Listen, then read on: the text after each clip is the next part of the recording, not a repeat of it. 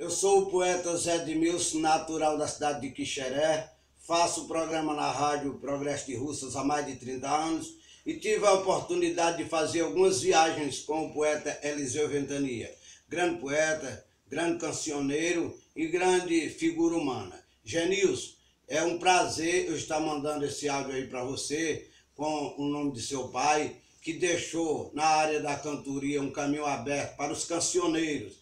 Foi ele o fundador da canção e nós só temos a agradecer a Deus e a Eliseu Ventania porque deixou a arte da cantoria inovada com muitas canções bonitas. E hoje muitos poetas trilham na mesma estrada.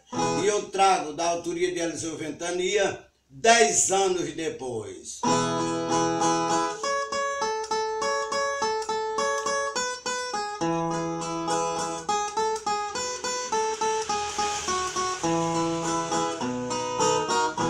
A uma criatura quatro anos. O meu desejo era fazê-la bem feliz. Casar com ela toda a vida era meus planos. Ficamos noivos na calçada da matriz.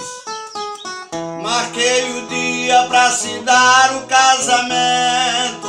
Comprei a casa, mobilei até o fim.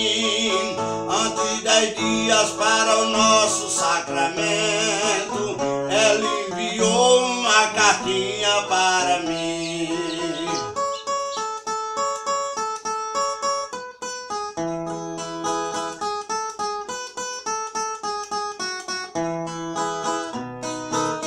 Dizia a carta entre nós tudo acabado.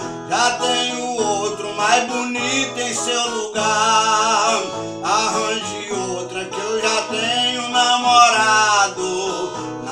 Adianta outra carta me enviar.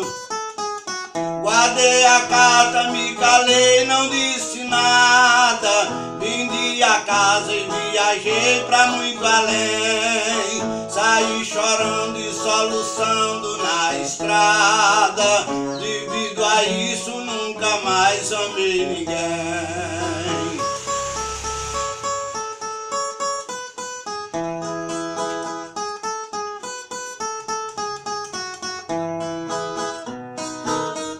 Depois de dez anos desta cena amargurada, eu me achava no balcão de um botequim.